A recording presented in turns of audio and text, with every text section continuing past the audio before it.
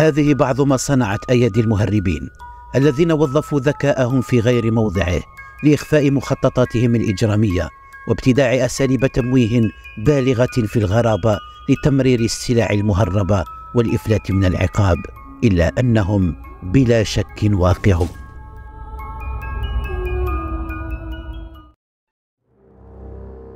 ولاية غليزان عناصر فرقة الشرطة القضائية بأمن دائرة سيدي محمد بن علي تمكنت من رصد تحركات أحد المغتربين بفرنسا والاشتباه في قيامه بعمليات التهريب أيدها حركته الدائمة والمستمرة بين الجزائر وفرنسا. بتاريخ 16 نوفمبر 2023 تم توقيف مركبة المشتبه فيه النفعية ذات الترقيم الأجنبي بسيدي محمد بن علي والذي كان بصدد التوجه لميناء وهران والوجهة ميناء مارسيليا بفرنسا. عملية التفتيش كشفت عن وجود كمية من المواد الغذائية والمشروبات غير أن المفاجأة علب العصير لم تحمل مستخلصات الفواكه بل 1187 علبة سجائر. تفنن هذا المهرب في زرعها داخل 132 علبة عصير.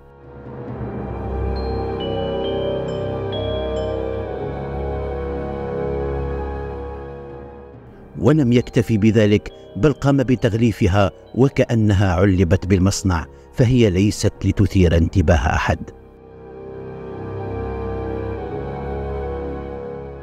التحقيق مع المشتبه فيه مكن من توقيف شريكه في عملية التهريب التي كانت تدر أزيد من 13 ألف أورو أي ما يزيد عن 300 مليون سنتيم بقيمة السوق السوداء في كل عملية تهريب.